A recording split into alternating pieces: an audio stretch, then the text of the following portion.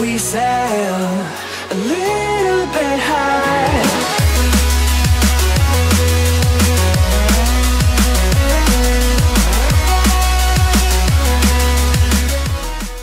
Chị ba tên họ khẩu tên Trang Nữ danh ca khẩu Trang Rồi Bây giờ quý vị nào chưa có vé ủng hộ dùm cho chúng em nhiệt tình năm chào ấy. chị, chị nói nào. Nữ danh ca khẩu trang. Chị ba. Nữ quan nhạc sến khẩu nghiệp à,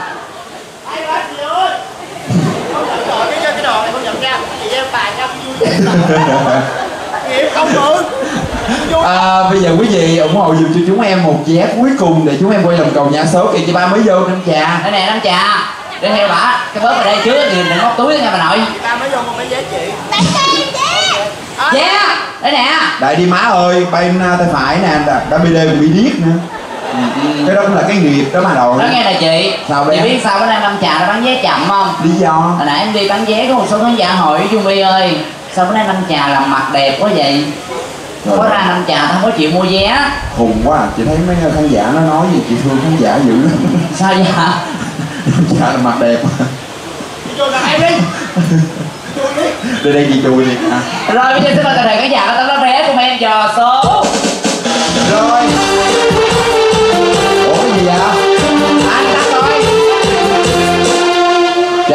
đây coi chà Chà thôi. Nói nghe nè đứng im để chị gắn lại cho. Tại chứ kêu chị đi chùi, chị chùi. Cái gì mà hành hạn nhỏ dữ vậy? Con bay con đậu gì mấy má. Thôi. Ờ, đánh em được rồi, à, thôi. à, Vậy ổn mới nè Vậy ổn mới nè. Có. Trời ơi, con anh trà nó xấu xấu khán giả tao mới mua vé. Giống hít lè gì má. Bà nội bà đàm nhỏ giống sẹt luôn, xấu má ơi vậy nè, nghe lời chị. Ok, đẹp, rồi Cái nét tạo quan thịnh rồi đó em. Trời Ai ơi? Bà nội lộ cái đồ mông giả má kia kìa. Xin mời toàn thể khán giả cùng em dò số. Rồi quý vị chưa vé một vé cho quý vị nha